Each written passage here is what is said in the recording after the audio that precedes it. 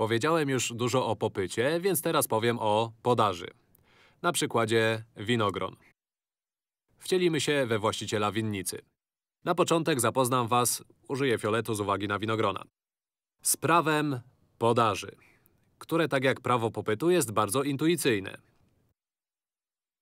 Jeśli inne czynniki są stałe, w kolejnych odcinkach powiem, co się dzieje, gdy zmienimy te inne czynniki.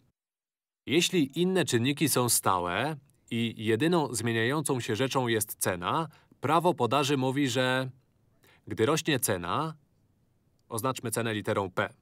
Gdy rośnie cena, podaż, muszę uważać, wielkość podaży, wielkość podaży rośnie.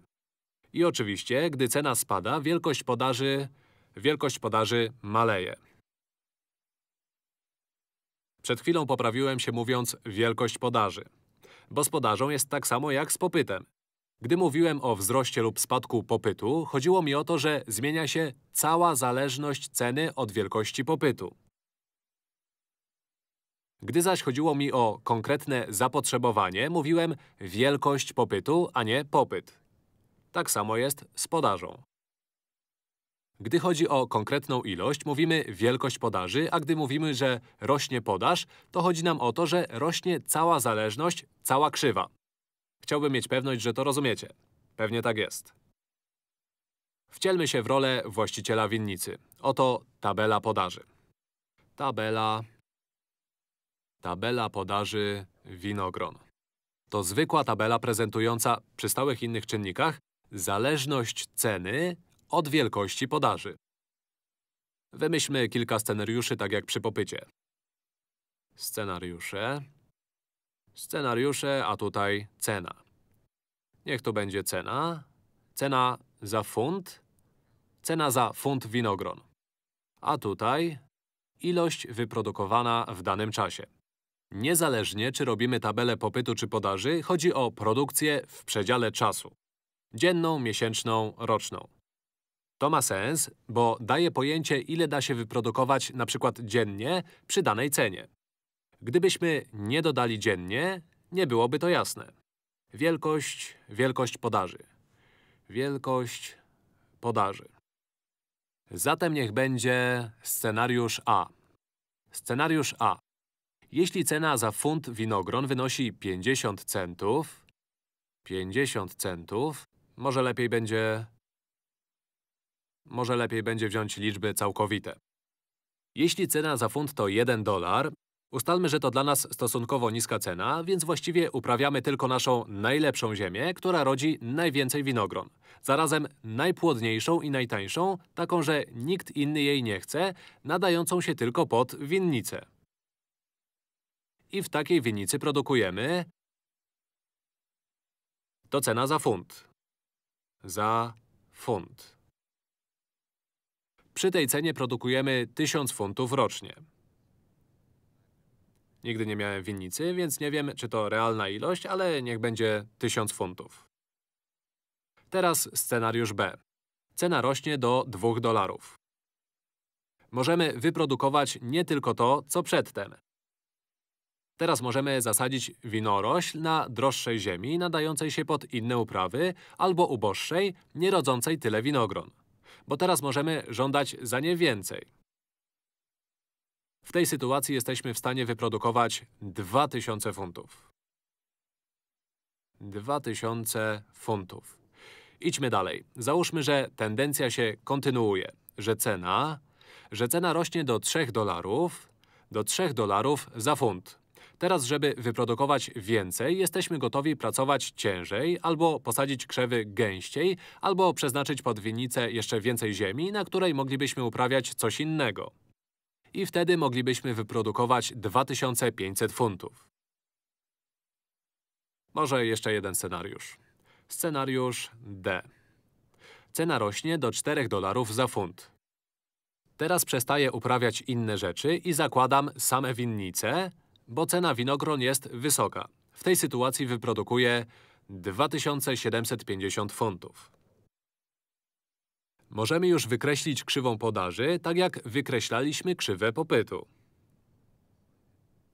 Panuje tu ta sama konwencja, której nie jestem fanem. Cena jest na osi pionowej. Bo mówimy tu o cenie jako niezależnej zmiennej.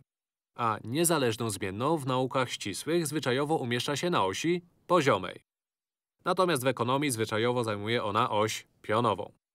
Zatem na osi pionowej cena, konkretnie cena za funt, za funt, a na osi poziomej wielkość podaży, czyli wyprodukowana ilość, napiszę wielkość podaży, powiedzmy w przyszłym roku. Robimy plany na przyszły rok. A jednostki to tysiące funtów. Tysiące funtów. Zobaczmy, mamy zakres od 1000 funtów do prawie 3000, więc 1000, 1000, 2000, 3000, a cena rośnie do 4, więc 1, 2, 3 i 4. Nanieśmy te punkty. To są konkretne punkty na krzywej podaży. Przy cenie 1 dolara dostarczymy 1000 punktów. 1000 funtów. 1 dolar, 1000 funtów to scenariusz A. Przy cenie 2 dolarów dostarczymy 2000 funtów. 2 dolary, 2000 funtów to scenariusz B. Przy cenie 3 dolarów dostarczymy 2500 funtów. 3 dolary… Przepraszam, ciągle mylą mi się osie. Cena jest tutaj. Na tej osi umieściliśmy parametr, który się zmienia. Nie zawsze tak się robi. A więc 1 dolar, 1000 funtów. 2 dolary, 2000 funtów. 3 dolary, 3 dolary nie są tutaj, są tutaj. 3 dolary, 2500 funtów. Mniej więcej tutaj. Tu na oko jest 2500. Wezmę ten sam niebieski kolor, żeby się nie myliło.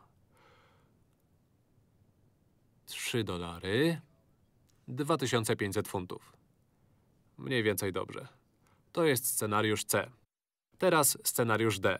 4 dolary, Zaznaczę to jeszcze raz, bo będą dość blisko. 2500 funtów jest dokładnie tutaj.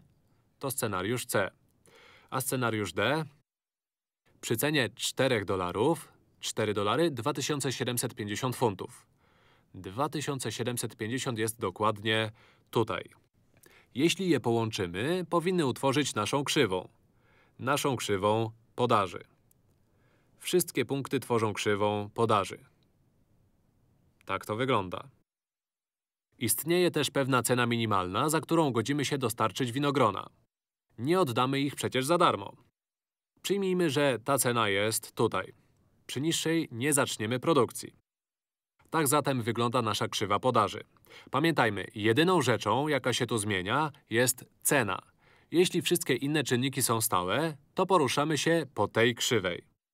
W kolejnych odcinkach będę mówił o tych stałych czynnikach, o tym, jak wpływają na konkretne punkty tej krzywej, a także ogólnie na całą krzywą.